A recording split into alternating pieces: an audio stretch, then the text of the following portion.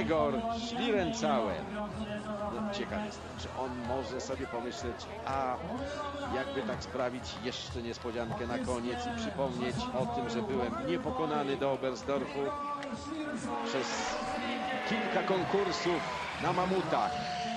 Jest mistrzem świata w lotach z ubiegłego roku z Oberstdorfu, ale czy stać go dzisiaj na taki daleki skok?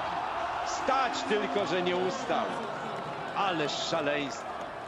Ależ szaleństwo pokazuje, że nie wolno było puszczać z dziesiątej belki. I ma rację. 224 metry.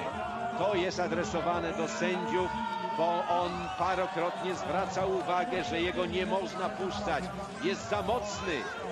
224 metry. Jest trochę szalony, ma 19 lat. Ale przecież jest dzięki temu fantastyczny. Spadał, nie chciał ciągnąć. Bał się, że później jest wypłaszczenie. Nawet nie chciał tego ustać, bo to jest straszne dla kręgosłupa. To tak jakby się skoczyło z drugiego piętra. Zresztą widać, nie było szans tutaj na ustanie. 224 metry. On już parokrotnie domagał się od sędziów, żeby puszczali tę ostatnią grupę z niższej belki, a puszczono z dziesiątej.